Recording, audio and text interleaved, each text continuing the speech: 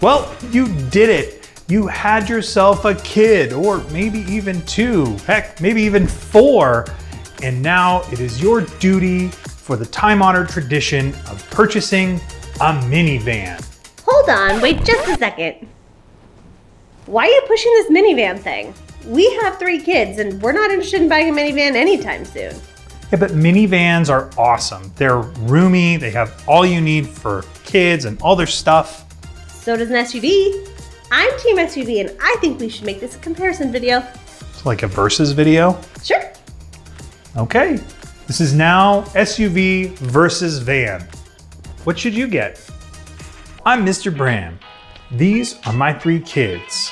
Join us as we look at SUVs and vans and decide, will it fit the fam? So to be clear, the Brams have had both.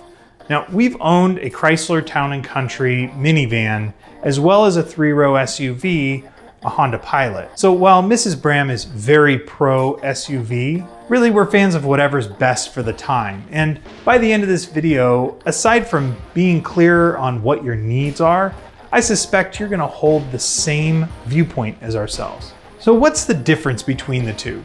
Well, really, we're gonna be using the SUV as a blanket term for any four-door hatchback that has lifted ground clearance. Honestly, these are often referred to as CUVs, but for today's video, we're just gonna use that blanket term SUV. This could be anything from a compact Nissan Rogue, the mid-size Toyota Highlander, or even the full-size Chevy Tahoe and Chevy Suburban. Now, as for minivans, we're really looking at one specific class of car, and that's gonna be a sliding door or two, six or more seats, all removable or fold flat. And those are cars like the Honda Odyssey, the Toyota Sienna, or of course the one everybody knows, the Dodge Caravan. So what started it all? Why the big debate? Well, to get it started, let's look at the minivan, which was really just a smaller van, mini-sized of course, that could get your kids and you to grandma's house and on a road trip or maybe to the mall or of course the almighty soccer practice. The SUV could do all that plus some, like tow a boat or go off road. And of course it has the almighty cool factor. But as dad bods have come into style and car designers have realized that parents want more than just a box on wheels, vans have really started to get stylish. They've gotten more features, and in fact, most minivans now can tow almost 3,500 pounds, and there's even one minivan that can tow over 5,000 pounds. So let's get to the facts and decide why you need to get fancy with an SUV or get even fancier with a minivan. To start us off, we're gonna look at passenger capacity. We're going to consider this very highly because frankly, that's what the purpose of both these vehicles were for originally, getting people and stuff to where they need to go in some semblance of comfort. Now seat count on even the lowest price minivan, which starts at about $25,000, is going to be eight people, including the driver. Now that's usually going to include a bench seat in the second row. So that means three across, no recline, no additional features, and then also three additional in the back seat or third row. Now, as you move up in price, you will be able to adjust your seats individually by moving into captain's chairs. The nice part about vans is that the center seat is most often removable. So you end up having an option to have a third person in that second row or go back to just those captain's chairs separately.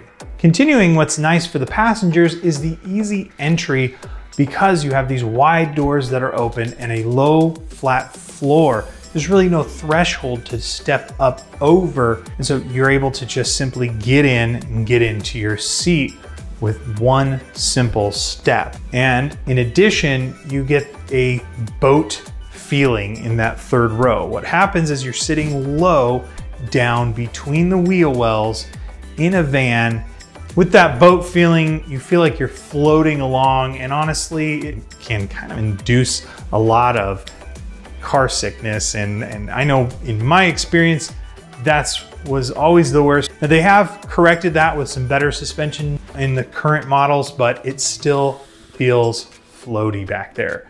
Now as for an SUV, the capacity does change completely based on price. You start with your lowest price entry, which is only about $13,000. You're gonna be getting five seats, but really that should only be used in a pinch. Four seats is gonna be the optimal configuration because that middle seat is just not going to be comfortable for most people or especially car seats. Now, as you go up in price, you get additional rows and of course additional seats. And you get more seats in a smaller package. Most vans feel very long. In fact, they're over 200 inches where a compact or even mid-size SUV come in much shorter than that and they feel a lot better on the road while still getting all of your six or seven seats. Now, third row might be tight in an SUV.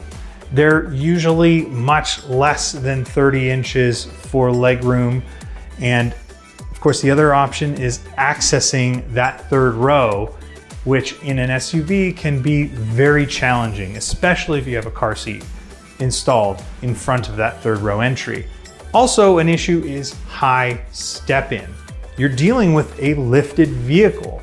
And so what ends up happening is you have to step up over a threshold and then step down into a footwell rather than having a flat load floor. So a lot of SUVs are getting over this. They're designing this out, but I know with our testing, I still see that in a lot of models. Now, if you wanna see a specific van, like, I don't know, maybe this one here, go check out Fit the Fam, explore the channel, see what types of vehicles we have to offer. Or if you wanna see an SUV, this one's one of our more popular ones. Go check it out. Now, all of this is continuing to lead into cargo capacity. This is where the vans and SUVs with third row, the margins really begin to get thin. Now, considering an SUV, they typically have a flat load floor that is at a better height for picking items up and putting directly into the cargo area. Makes it basically an ease of entry for all of your cargo. Also, the average midsize SUV cargo area is 30 cubic feet which is enough for quick trip over to one of your large box stores or even a couple weeks away on an awesome road trip. So you have tons of space in an SUV. The other nice part is roof rack are often standard in SUVs. So you have somewhere to put additional items when you need to. Now with the third row up though, there's not a lot of space in most third row SUV, unless you're getting into the largest, especially the Suburban, where there's tons of space behind that third row. Honestly, it looks like it's about 10 cubic feet behind the third row on average for mid-size and compact SUVs with a third row. Definitely a downfall of the SUV.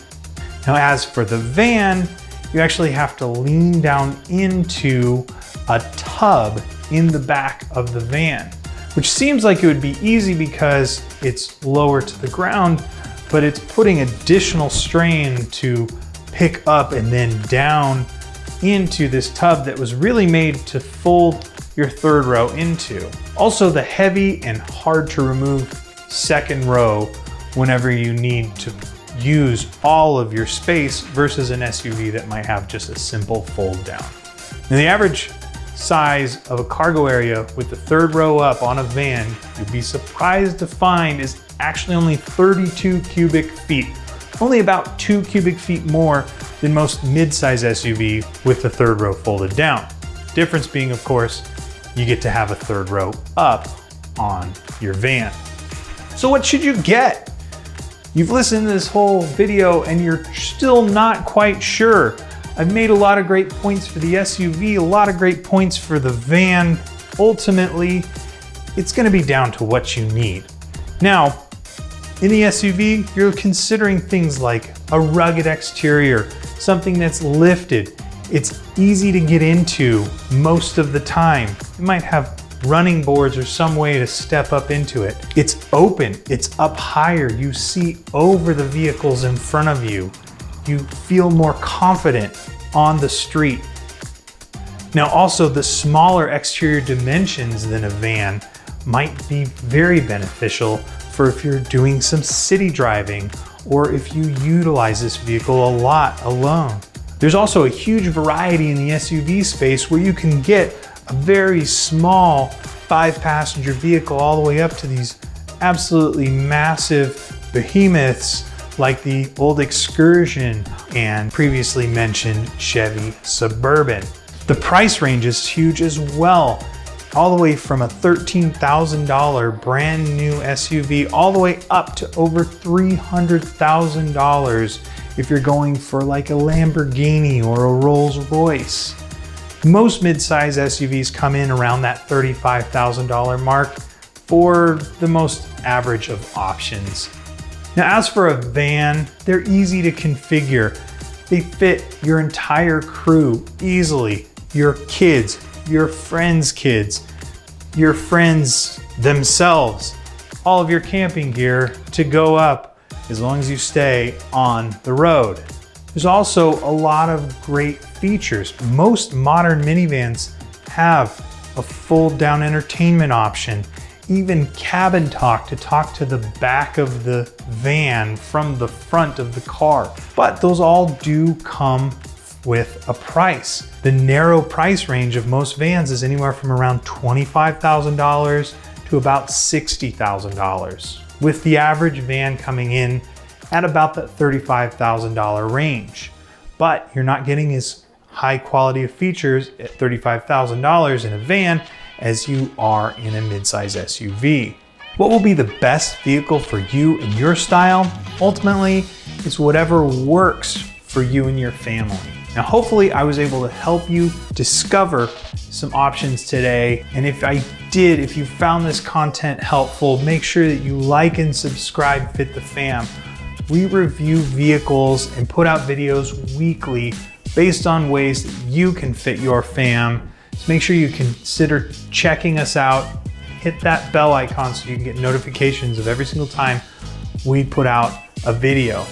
Also, if you check out right here, I have a playlist of SUVs. These are all the mid-size SUVs that we have reviewed and actually put car seats into also down here is all the different vans that we've reviewed. Put car seats in every single vehicle that we review.